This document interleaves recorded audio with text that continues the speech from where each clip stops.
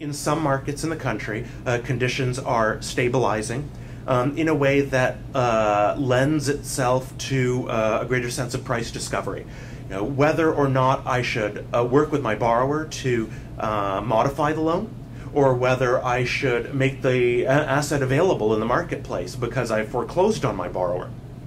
um, is uh, not uh, something that is characterized by tr- as much uncertainty as we observed a year ago. Um, last year, uh, certainly, uh, you know, as banks sought to uh, mitigate their losses, what uh, I think in, in the popular parlance has been described as extend to pretend is in fact anything but. banks thinking very carefully about choices with regard to how to mitigate losses in their uh, balance sheets, and where um, they have a choice between working with a uh,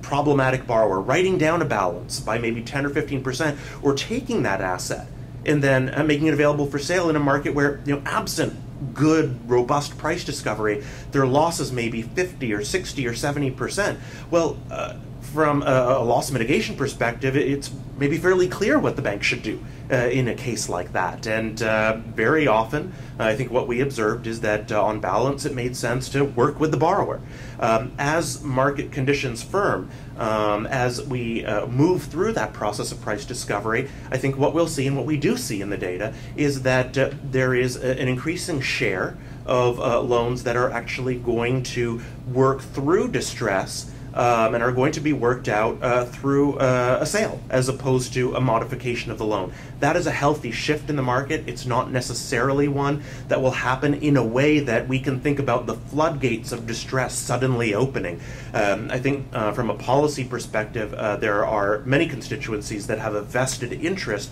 in ensuring that um, that adjustment occurs in a way uh, that is uh, measured and paced as opposed to uh, sudden or abrupt. And, and that really is, I think, why um, it's been a gradual move, uh, one that is underway, uh, as opposed to just a sudden opening of the floodgates, which uh, is a less likely scenario.